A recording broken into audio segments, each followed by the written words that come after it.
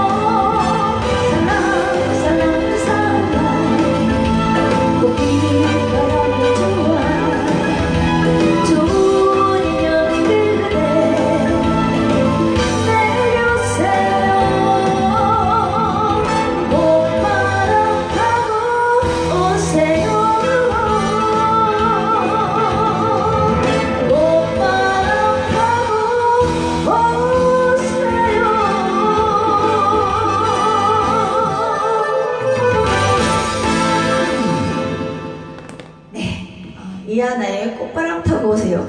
이 집에 들어갈 첫 곡인데요. 음, 괜찮나요? 네, 감사합니다. 너무 주시러 이렇게 많이 오셔서 감사하고요. 어, 그러는 동안 신청곡이 두 곡 정도 올라간 것 같은데요.